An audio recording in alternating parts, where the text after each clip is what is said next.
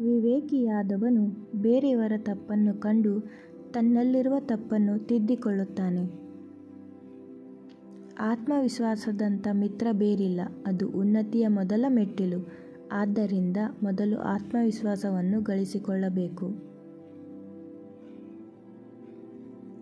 ದಾನ ಮಾಡಿರಿ, ಆದರೆ ಅದರಿಂದ ಪ್ರತಿಫಲ ನಿರೀಕ್ಷಿಸಬೇಡಿ, ಅದು ತಾನಾಗಿಯೇ ವಾಪಸ್ ಬರಲಿದೆ.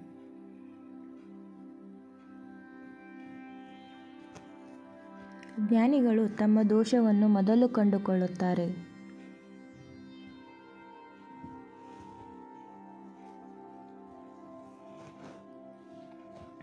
ಸತ್ಯಕ್ಕಾಗಿ ಯಾವುದನ್ನಾದರೂ ತ್ಯಾಗ ಮಾಡಿ, ಆದರೆ ಯಾವುದಕ್ಕಾದರೂ ಸತ್ಯವನ್ನು ಮಾತ್ರ ತ್ಯಾಗ ಮಾಡಬೇಡಿ.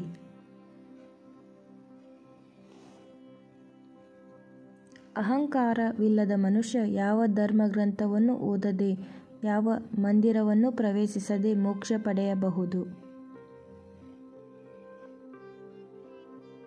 ಮಹಾಕಾರ್ಯಗಳನ್ನು ಮಹಾತ್ಯಾಗದಿಂದ ಮಾತ್ರ ಸಾಧಿಸಲು ಸಾಧ್ಯ. ಅನ್ಯಾಯದ ಸ್ಥಾನವು ಅಭದ್ರವಾದದ್ದು, ಅದರಿಂದ ಏಳಿಗೆ ಆಗದು.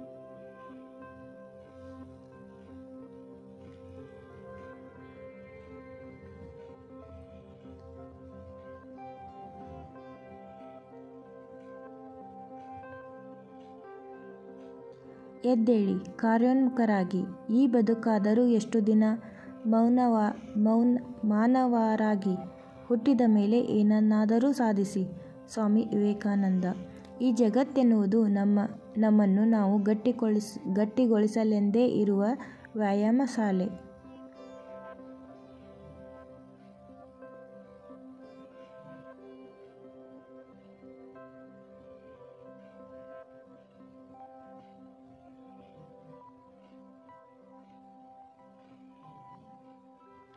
ಸಾಧ್ಯವೇ ಇಲ್ಲ ಎಂದುಕೊಂಡರೆ ಏನನ್ನೂ ಸಾಧಿಸಲು ಆಗದು ಪ್ರಯತ್ನಿಸುವುದರಿಂದ ನಷ್ಟವೇನಿದೆ?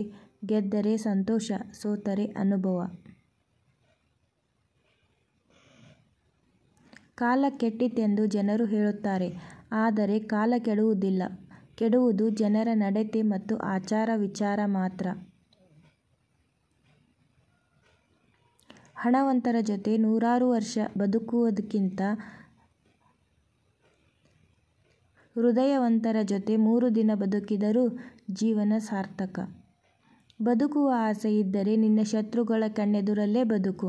ಅವರು ನಿನ್ನ ಎದುರು ಸುಳಿದಾಗಲೆಲ್ಲ ನಿನ್ನಲ್ಲಿ ಬದುಕುವ ಚೆಲ್ಲ ಎಚ್ಚೆತ್ತುಕೊಳ್ಳುತ್ತದೆ. ಪ್ರತಿದಿನ ಒಮ್ಮೆಯಾದರೂ ನಿಮ್ಮೊಂದಿಗೆ ನೀವು ಮಾತನಾಡಿ, ಇಲ್ಲದಿದ್ದರೆ ನೀವು ಈ ಜಗತ್ತಿನ ಅತ್ಯಂತ ಅತ್ಯುತ್ತಮ ವ್ಯಕ್ತಿಯೊಂದಿಗೆ ಸಭೆಯನ್ನು ಕಳೆದುಕೊಳ್ಳಬಹುದು. ಒಳಗಿನಿಂದ ನೀವು ಬೆಳೆಯಬೇಕಾಗಿದೆ.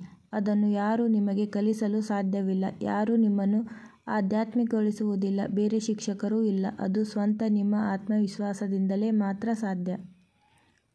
ಸ್ವಾಮಿ ವಿವೇಕಾನಂದರ ಪ್ರಕಾರ ಮೂರು ನಿಯಮಗಳು. ನಿಮಗೆ ಯಾರು ಸಹಾಯ ಮಾಡುತ್ತಿದ್ದಾರೆ ಅವರನ್ನು ಮರೆಯಬೇಡಿ. ಯಾರು ನಿಮ್ಮನ್ನು ಪ್ರೀತಿಸುತ್ತಾರೋ ಅವರನ್ನು ದ್ವೇಷಿಸಬೇಡಿ. ನನ್ನನ್ನು ಇಷ್ಟಪಡಿ ಅಥವಾ ದ್ವೇಷಿಸಿ, ಎರಡೂ ನನ್ನ ಪರವಾಗಿದೆ. ನೀವು ನನ್ನನ್ನು ಇಷ್ಟಪಟ್ಟರೆ ನಾನು ನಿನ್ನ ಹೃದಯದಲ್ಲಿದ್ದೇನೆ. ನೀವು ನನ್ನನ್ನು ದ್ವೇಷಿಸಿದರೆ ನಿಮ್ಮ ಮೆದುಳನ್ನು ದೊಡ್ಡ ಆಲೋಚನೆಗಳಿಂದ ತುಂಬಿದ್ದೀರಿ. ಅತ್ಯುನ್ನತ ಆದರ್ಶಗಳನ್ನು ಹಗಲು ರಾತ್ರಿ ನಿಮ್ಮ ಮುಂದೆ ಇಡಿ ಮತ್ತು ಅದರಿಂದ ದೊಡ್ಡ ಕೆಲಸ